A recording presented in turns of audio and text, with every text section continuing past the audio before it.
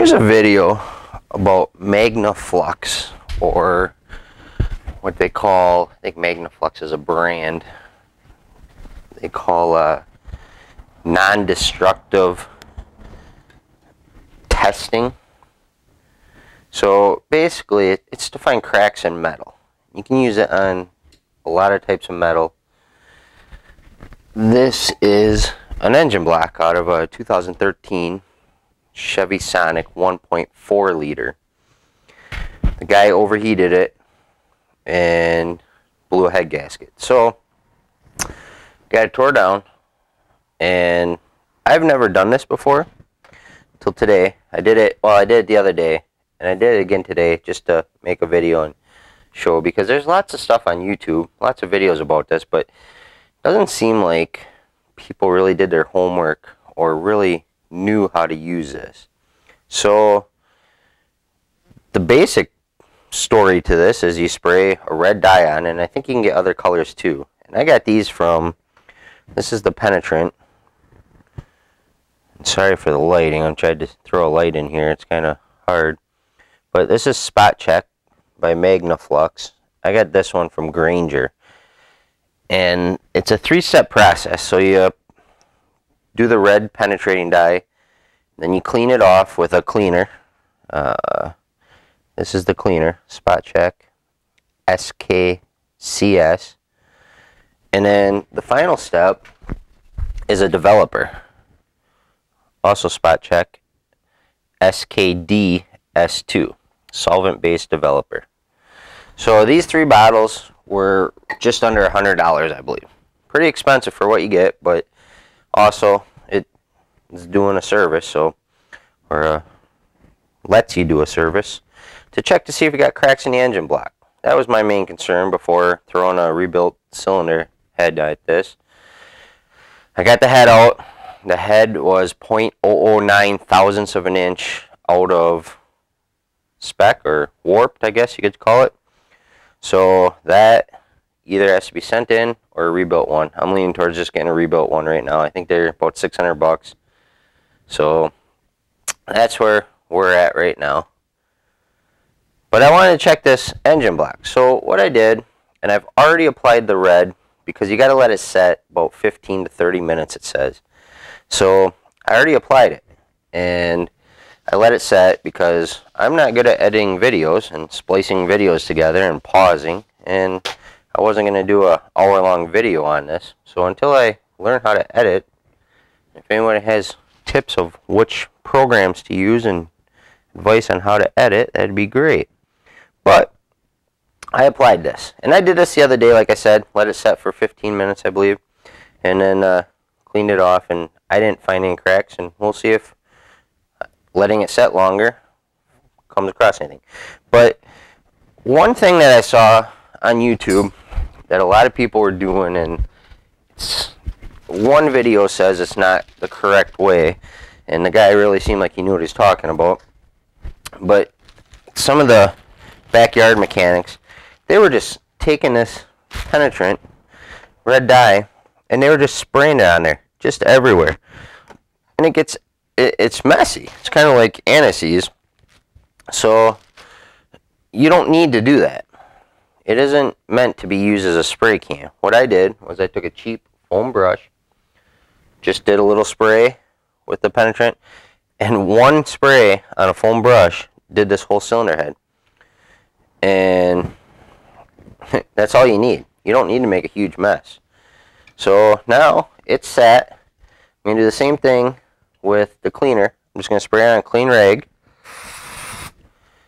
And you just go to town wiping it off. Now, again, you do not want to spray this like a paint can onto there because what you don't want to do is wipe the red dye out of any cracks that may be there. If there's a crack, how this works is the dye penetrates, sinks into the crack, and when you clean this, you just clean off the top surface pretty much, and if there's a crack, that dye should be down in the crack. And then when you spray the developer on her, it it'll highlight it and show you any cracks. So you don't want to just soak this down with cleaner because like the dye, the cleaner will soak into the crack and you won't be able to see your crack anymore. So I got it pretty good right now. One last little swipe.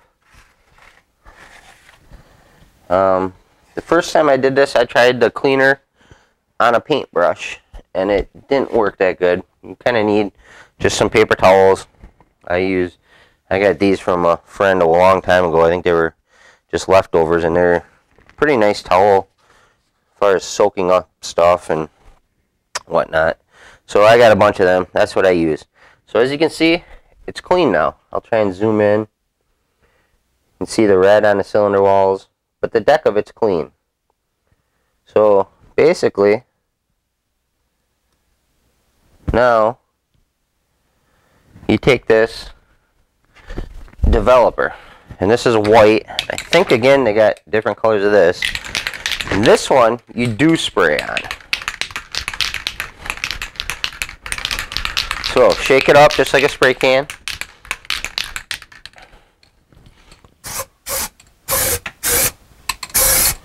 And then, see, it's kind of hard not getting a real good coat because it doesn't spray straight up and down like that. It's kind of like brake clean where kind of got to hold it at an angle. But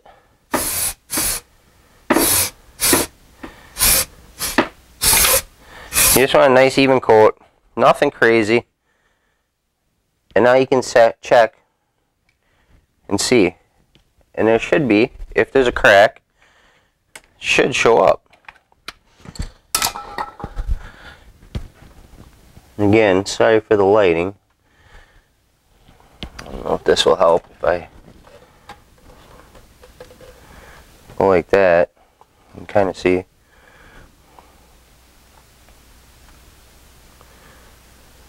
And you just, if there's a crack, it would show up red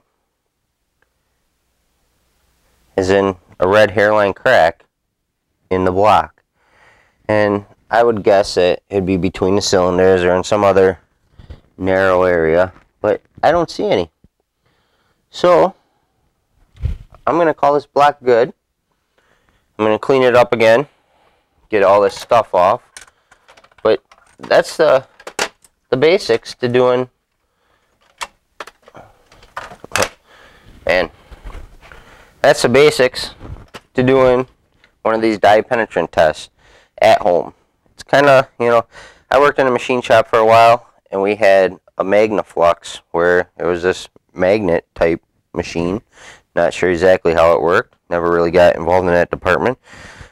But basically, if we machined a part, it went through this and it detected cracks.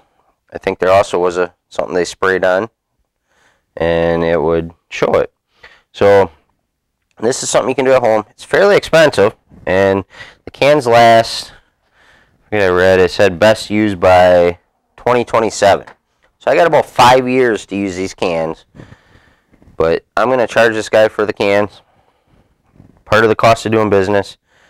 And I know that this block isn't cracked, so I can throw a head on and comfortably send it out the door and he knows it too. So just something that I like to do to be sure. I, I don't like to guess and just kind of hope.